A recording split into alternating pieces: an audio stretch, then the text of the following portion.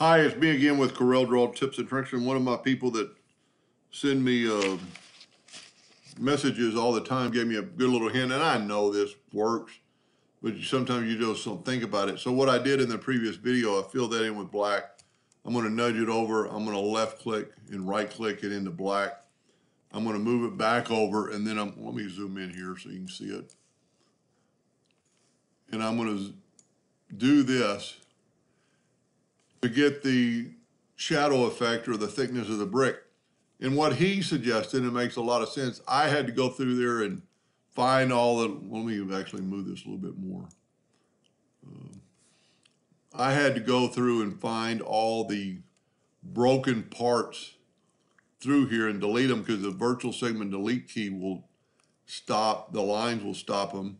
So what he suggested, and it works really good, is just delete that part Go up here and delete that little part. Whoop, I must have hit a brick. And that's the kind of the problem that will save you. So we're gonna delete that part. Now we're gonna nudge this out of the way. You can barely see the breaks, but go up to object and convert it to a break object apart.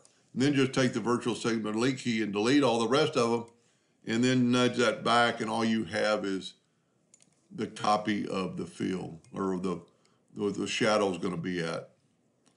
So I think that viewer, he's given me many, many suggestions and that one worked good.